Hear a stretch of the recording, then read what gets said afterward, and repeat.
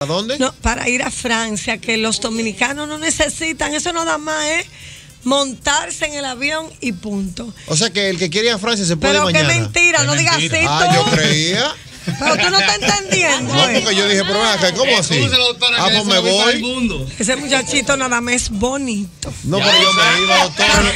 Se lo digo, eso nada más. Y baila, que eso es lo último. Doctora, pero mire, yo estaba llamando a la agencia ya. pero, ay, pero lo que estamos tratando es de informar al público. La información es que cada vez que ustedes vean en las redes sociales una información con relación a una visa, los dominicanos necesitan visa para... No se lleven de eso, no se apresuren, simple y llanamente confirmen esa información con las instituciones pertinentes para que no siga pasando que ya no se sabe qué hacer en la Dirección General de Pasaporte. Todos los días en Santiago mil personas, aquí tres mil, llevándose de que es llegar a un aeropuerto y montarse en el avión. No es el caso. Nuestra capacidad de inmigrantes no nos permite que nos den tanto acceso a tantos países, porque de verdad, de verdad que nos encanta quedarnos y si es en Estados Unidos ni se diga. O sea que yo creo que no se lleven de la información de las redes sociales hasta que ustedes no la puedan verificar, porque es un gasto innecesario con un propósito inexistente.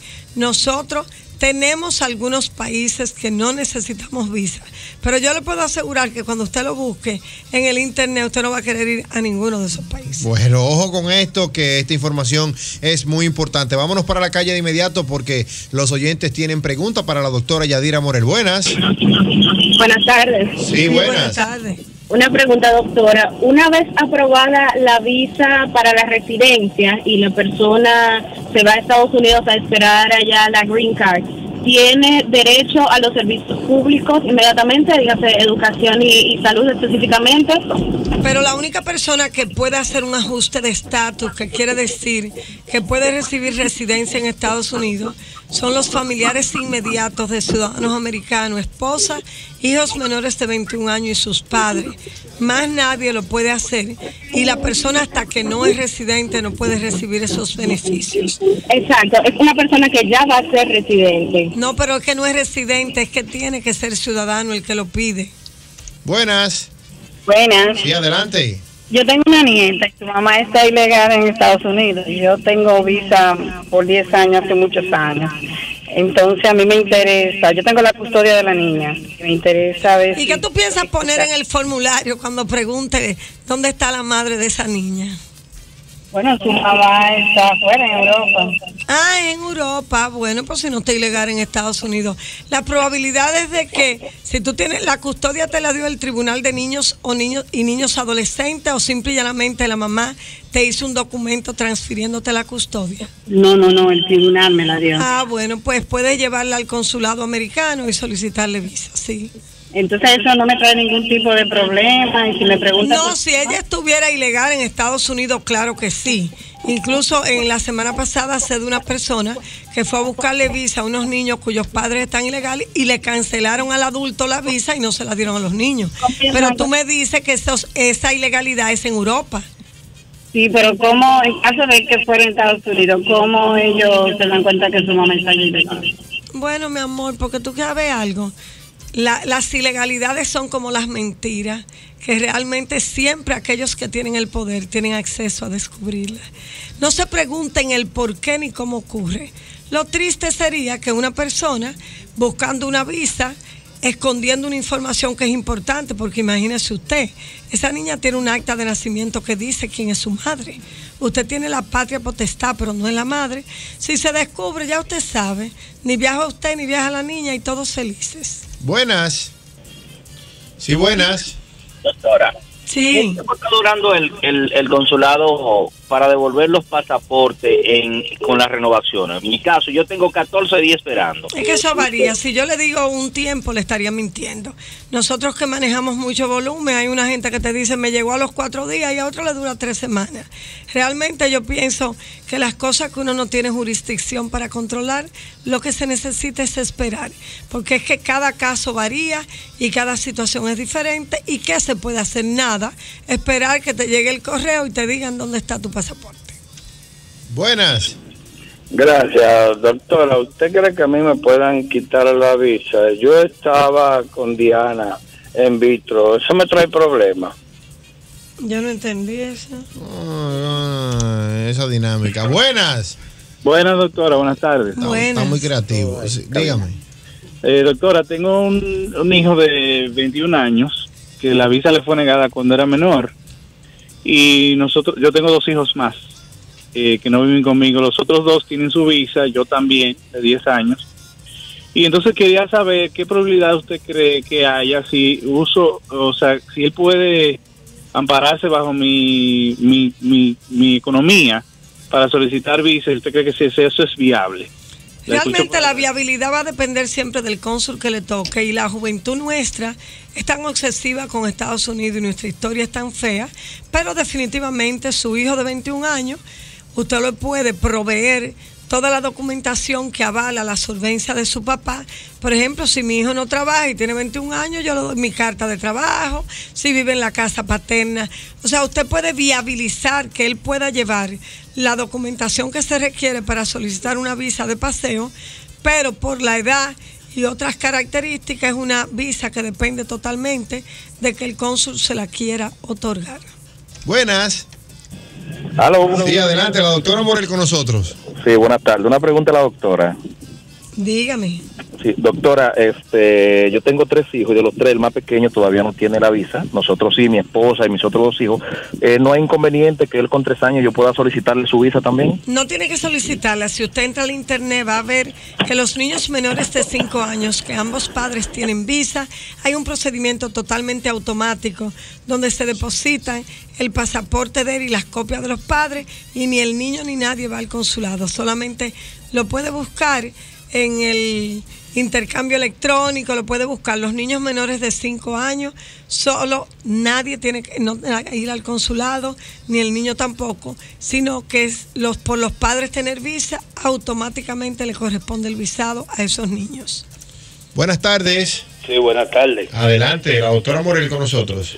Sí, buena, doctora. Dígame. Eh, yo te quiero una pregunta, eh, hacer una pregunta. Eh, mi papá es ciudadano y él me pidió eso del 97. Entonces, mi papá, mi mamá, esos los papeles nunca salieron, ese caso se cayó. Entonces, mi mamá le, le otorgaron la residencia. Yo quisiera saber si ella me puede pedir también. Si no, Bueno, su papá no lo pidió, porque un caso de 97 ni existe. no, lo que pasa fue que eso se cayó. Le Bueno, pues no existe, entonces su mamá lo puede pedir. ¿Usted es soltero? Sí, señora. Sí, su mamá, si usted es un hijo, aunque sea adulto soltero, lo puede pedir. Están trabajando los casos del 2009, lo cual quiere decir que esos casos aproximadamente pueden durar de 8 a 9 años. Ah, Cuando a bueno. usted le den la residencia, se van con usted todos los hijos que el día que a usted le toque la residencia no hayan cumplido 21 años de edad. Ah, ok, que yo quería saber si chocaban la- las dos peticiones. Pero ¿cómo va a chocar si la otra no existe? Buenas. Sí, buenas. Buenas tardes, mi nombre es Stephanie. Buenas tardes, doctora. Buenas tardes. Sí, por fin me comunico. Mire, doctora, eh, mi esposo y yo queremos solicitar visa el próximo año. Entonces, quisiera saber con relación a mi pasaporte, que tiene mi apellido de soltera. Entonces, actualmente la cédula está con el apellido de, de, de- de Durán, que es mi esposo. Entonces, que mi pasaporte se vence en el 2019. ¿Tengo que renovarlo o no? O sea, Para nada, para nada. Lo único que tú tienes que hacer, señores, cuando los documentos, uno va cambiando de estado civil. Los documentos, si no se vencen, no hay que cambiarlos. Simple y llanamente, donde uno hace la gestión, como en tu caso, tú vas al consulado y vas a llevar un acta de matrimonio que dice que tú te casaste con Durán. Pero no necesariamente tienes que cambiar los documentos que reflejen que tú eres de Durán. Simple y llanamente tú, ese pasaporte que tiene validez todavía, el, cuando llenas el formulario de ese 160, que es el formulario de solicitud de visa, tú vas a poner estado civil casada y vas a llevar el acta de matrimonio, que es la que certifica el cambio de estado civil. No tienen que cambiar los documentos. Buenas, dos últimas para la doctora. Sí, buenas, Sí, doctora. Mire, yo tengo una sobrina, mi hermana la trajo, ella es ciudadana americana, nació allá. la trajo cuando tenía siete meses. Entonces la niña hoy tiene 12 años, fueron hace tres años a buscar el pasaporte para que la niña se pudiera ir y el cónsul le pidió a mi hermana el pasaporte del, do- del 2004.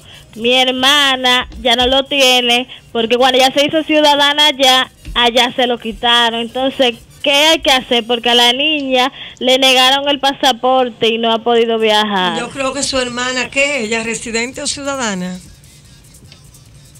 No, se fue, doctora, se fue. Bueno, señores, ese es un caso triste porque ese pasaporte, imagínese usted si no tienen la prueba para demostrar que esa niña tenía ese pasaporte porque no lo tienen.